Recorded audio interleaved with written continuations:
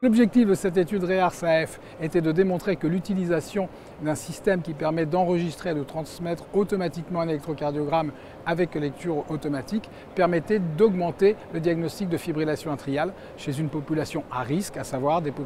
une population de plus de 65 ans avec un score de Chasvas 2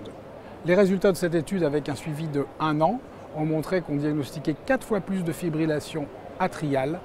chez les patients qui bénéficiaient de ce système par rapport à un suivi classique.